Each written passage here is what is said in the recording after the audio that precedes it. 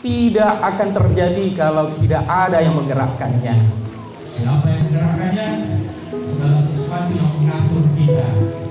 Allah Subhanahu wa taala yang memberikan semuanya kepada kita. Kita berharap keduanya bisa menjaga yang kita inginkan. Ridha Allah itu yang penting bagi saya ya.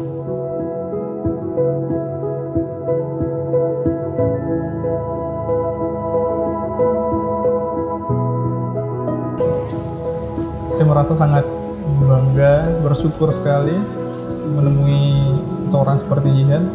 Semoga tidak ada halangan. Saya berharap semuanya berjalan lancar. Tidak ada yang menghalangi perjalanan kami sampai ke anak itu bahkan sampai ke maut memisahkan.